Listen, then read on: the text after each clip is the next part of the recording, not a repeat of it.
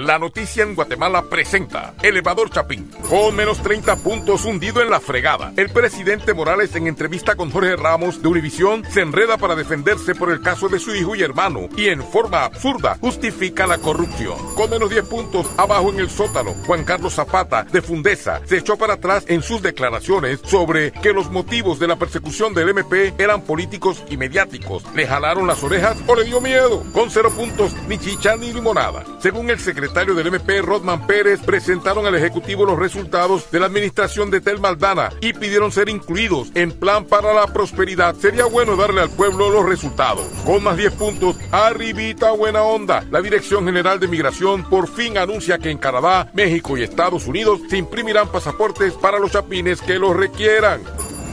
Allá en la cumbre, en lo máximo con 30 puntos, el arzobispo metropolitano Oscar Vian dijo que las declaraciones del presidente en Univisión no fueron justas para nuestro país, pues la corrupción existe, pero no es normal.